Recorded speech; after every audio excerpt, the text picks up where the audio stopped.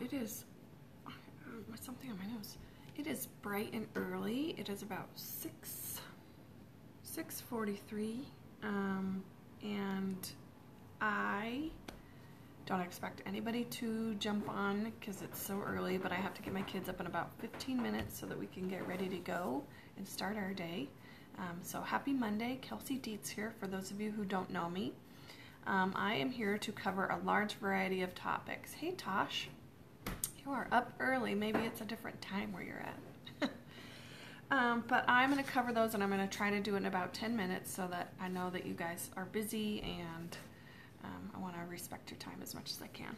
Okay, so first topic I'm going to cover is Yarrow Pom, which is one of the powerhouses that we are going to be promoting this week for um, um, boosting your metabolism. This is how mine looks. Um, however, if you were to buy it, um, you would get it in a bottle that's twice this size and it would have a dropper on it for more easy access because it is a quite thick um, oil. It's hard to get out of the little normal um, orifice type um,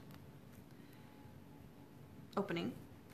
Um, so uh, this is a blend of yarrow essential oil and cold pressed pomegranate seed oil. So it's the first nutritive duo that um, doTERRA has produced. Oh yes, you got to get to work, Tosh.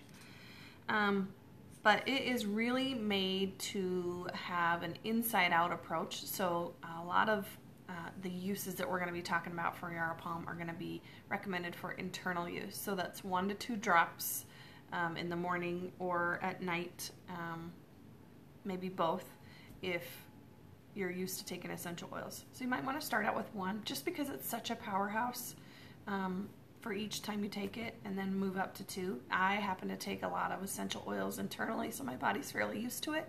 So I just started right out with two. But if you haven't started taking essential oils um, internally, you'll want to start out with just one. Um, it's really an, uh, really great for just overall wellness. It's going to be um, super great for your glowing skin. I am going through a little bit of a detox phase right now, so my skin is not very glowing. um, but I definitely use part Yarrow Pom on my skin. If you haven't, you, if you haven't caught the other Yarrow Pom video that I did uh, recently, I put Yarrow Pom all over my face, it is a nice, pretty blue hue, and it will go on your skin blue, but it, it doesn't stay blue. I'm just gonna try to, while we're talking, do this. Um, it, it is really great at inhibiting the elastin and collagen breakdown of your skin. So not only is it really great for you internally, but it's really great for um, your skin externally. So you could, like I have super dry hands, so I typically like to put this Yarrow Pom right in here um, on my hands, if I can. Um, because I have this really bad dry skin right here in, in between my thumb and my first finger. And so it's a really great oil for that, but it's really, really great for dry skin. It's gonna be really great for those anti-aging properties that we all desire, right? So it's really great for that. You could put it into your um, regular lotion and it's gonna be so great, but I just put it on straight. It already has pomegranate oil in it and I just put it on straight and I do that almost probably every other night because I have a whole other oils uh, regimen that I put on my skin as well. If you wanna know about that, more about that, let me know. Um, but it's also really helpful for supporting the inflammatory response.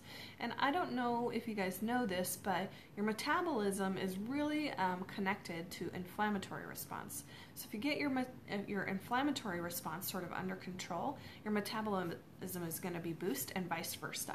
So uh, Yarrow pom is really great at supporting that inflammation that we have in our body to go down. So consider, really, really, really consider this oil. It's a very, very um, powerhouse oil. So it's going to be really great for that inflammatory response, really a healthy metabolism because of that. And then it's also going to be really supportive to the, the immune system, cellular support, and nervous system function when taken internally. So my recommended uses for this oil are going to be um, externally, topically on your skin, um, I like to use it on my hands, but I also put it all over my face, and then one to two drops in the morning and one to two drops in the evening. Um, it's really great for helping pr promoting feelings of relaxation also, so it's going to be helpful for sleeping and all kinds of stuff. Hi, Harley. Um, so it's a really, really great oil, and if you don't have it yet, you should really consider getting this one. I know it's a little bit on the spendier side. Uh, I think it's $95 with your wholesale account. Um, but it is in a large bottle and it will last you quite some time. I have a, I got this in September and I use it quite often. It's a small 15 ml bottle and it's about halfway gone. So I love this oil. I do the morning and night um, routine in a veggie cap and I also put it all over my skin. So it's a fantastic oil. You should really consider doing that. Okay, uh, next let's talk about goal setting, which I was supposed to do this yesterday and I'm I, I just got so entrenched in what my kids were doing and cleaning up the house and getting my mountain of laundry done that I just didn't have it in me to go live yesterday, so I apologize about that. So let's talk about it really quick. Um, goal setting. So when I was in, those of you who don't know this, or maybe you're going to be a little bit surprised, or maybe not, I don't know. When I was in the sixth grade, I got to place the leading role in a play called Cinderella. I used to be blonde believe it or not. Um, and I got to have a solo, which was A Dream is Just a Wish Your Heart Makes. So I know that song inside and out still. Um, but really do does ring true to me, um, especially right now because I'm doing a lot of goal setting. A dream is when you're sleeping; it is just a wish that your heart heart is making. Now, even when you're not sleeping, if you're dreaming of all these things, you're gonna you're just wishing about it, right? It's just a wish. If you just if you don't plan for it, it's just a wish. So really, we got to make goals, which is a dream with its work boots on. That quote is um, directly from Rachel Hollis. And so when I heard her say that, I think probably on one of her morning shows, um, I was like, whoa.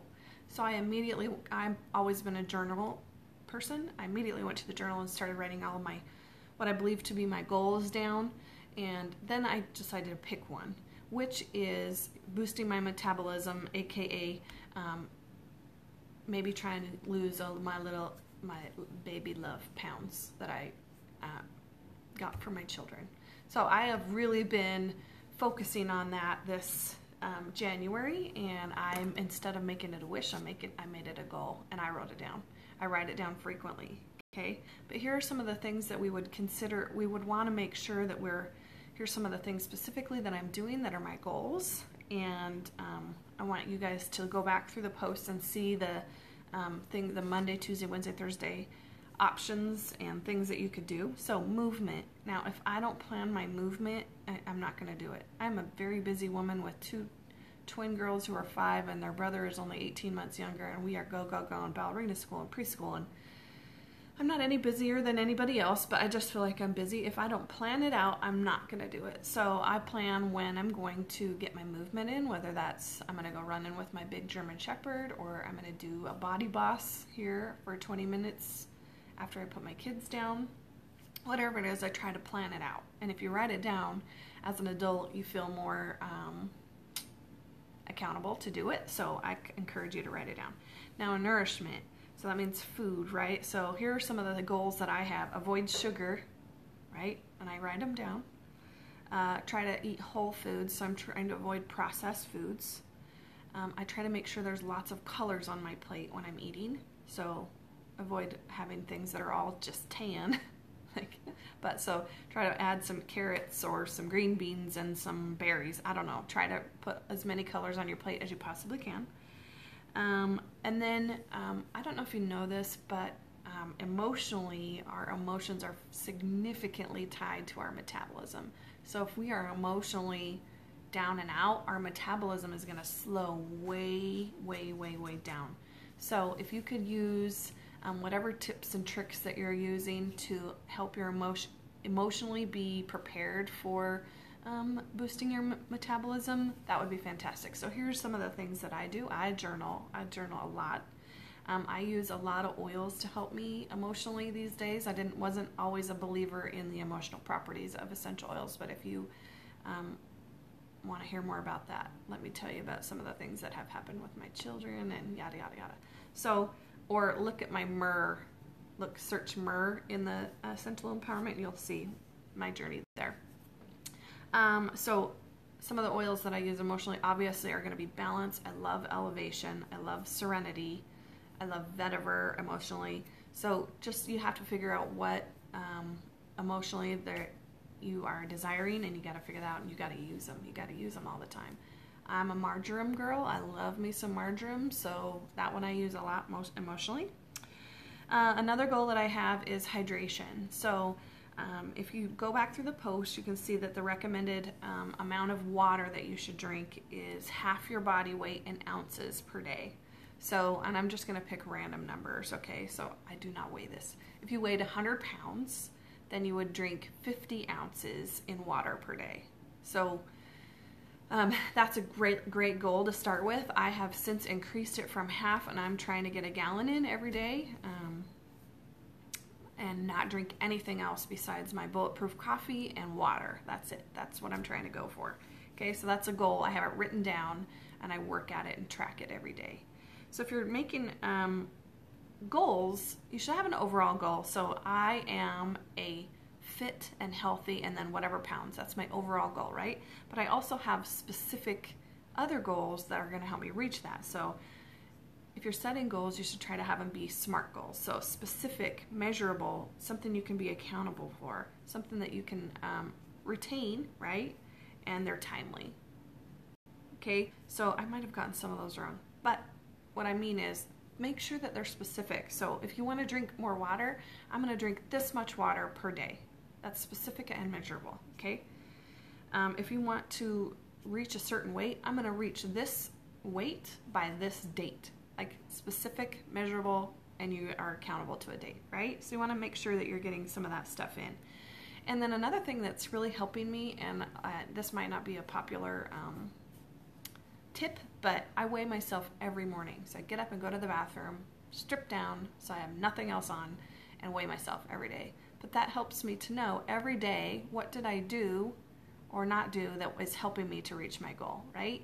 Uh, sometimes I don't like the scale. This morning I don't love it, um, but other mornings I'm like, yay. So um, just, I know typically in our brains we hate doing it, but if you do it every day and you see the numbers going in your direction because of some of the other goals that you're doing, um, you might start liking it like I do. Okay, another uh, goal that you should have is to get seven to eight hours of sleep. That's what I have. It's not working well for me right now, but I'm working on it I consider it. So some of the oils that I use for sleeping, marjoram, serenity, vetiver. Hey Jan, um, lavender and green mandarin, juniper berry and bergamot, bergamot, bergamot, whatever, however, potato, potato, right? Um, and then the last thing is meal prep. Now, some of you are looking at me like, Kelsey, you are not meal prepping. That is a true story. But I have my groceries that I know that I can put together things very simply. I can't be making crazy things, right? But I know specifically what I have in my fridge. I know that what I can make for dinner. So by the time I get off work, I already know what I'm going to make for dinner. So, and I'm going to take my lunch to work. I know what I can have for a snack. Yada yada yada. I gotta get this wrapped up, okay? Uh, anyway, because my husband's going to be coming out any second. Okay, so make sure you're setting some realistic goals. Make sure you're writing them down, um, and we're going to help you boost your metabolism with these oils and things. Okay, next I want to talk to you about oils dreams, and this is going to be quick. Um, so there are a large spectrum of people on what their oil dreams are. Now you might be saying, what does that mean? Now, if you're a customer and you just love and use your oils, that's great. Hey, Auntie. Um, great, do that, right? Um, but if you, if you don't know this, doTERRA is also a business. So I am a business owner, my own doTERRA business owner, okay, because I have specific oil streams. Here's the way that they can um, vary. You can love and use oils and use them until your heart's content. Use them with no point system and or get on the point system and get free stuff, however you want to do it. You can work to get your oils paid for, um, and if you want to do that, reach out to whoever invited you here and they can help you um, get your family and friends using essential oils uh, because we know we all need them and we love them. They can help you do that. Or you can be like me and have a very specific goal to replace your income and just be working doTERRA instead of somewhere that somewhere else, right? Okay, so my journey has been a long uh, journey and it wasn't overnight. So everyone starts where they start. Um, and you can stay where you're at forever. If you just love and use oils, just do that. Um, but here's how mine started. I my son got RSV very soon after he got pneumonia, so I started using oils. I loved them, and then I wasn't on LRP for a long time. But then I was encouraged by my friend Stephanie, Steph, uh, to use the loyalty rewards system so I could get free stuff. Right, so I did that, and then I went to Cleveland for a work trip uh, to talk about teamwork and a conference or whatever and I met we met a gentleman by the name of Brandon. I can't remember his last name, but he is a filmographer or a videographer for DoTerra. And uh, anyways, he started talking to Steph about the business because she's been um, in the DoTerra business for quite some time. They started chatting, and then when we got when we touched gr- ground, we were from Cleveland to Salt Lake because he lives in Salt Lake. When we touched ground in Salt Lake, I looked over and I said, "How come you haven't asked me if I wanted?" Um, replace my income. And she's like, "Well, do you?" And so that's where my how my journey started, and it wasn't overnight. It took quite a long time. So just make sure that however your journey looks, you're reaching out to whoever invited you to start using DoTerra, and do that so that we can, they, we, they can uh, be supportive to you. So however you do that. So because it might just look like, hey, I have five friends or family members that I would love to help start using essential oils and would that help me get my oils paid for? You, you bet you betcha. So um, host a class. That's what it might look like. That's all. Or maybe you don't want to um, there's and there's all kinds of way to get free stuff. So just um, consider those things. Okay so we've covered a lot. Yarrow pom gotta get it goal setting write it down it's got to be specific specific attainable measurable timely right um, and um, consider what your oil streams are. If you're a user and you love using oils, great, fantastic. If you meet someone else who wants to use them and you don't have any desire to um, earn some free stuff or money, forward them to whoever invited you to doTERRA. Fantastic. Uh, or figure out where your where your oil streams are taking you. So consider all these things and love y'all and stay tuned for later this afternoon. We're going to be talking about all the other products, overview of all the other pro- other products in this week's event, and um, maybe some yummy tea options that you can make in the evening to help with your metabolism. So, thanks for listening to me. I tried to keep it short. Unfortunately, I had because I spent so much time with my kids playing Barbies and puppet sock puppet shows. Uh, I didn't go live yesterday, so had a lot to cover this morning. So I'm gonna go get my children up. My son has a dentist appointment today, and then I'm off to work. Peace out.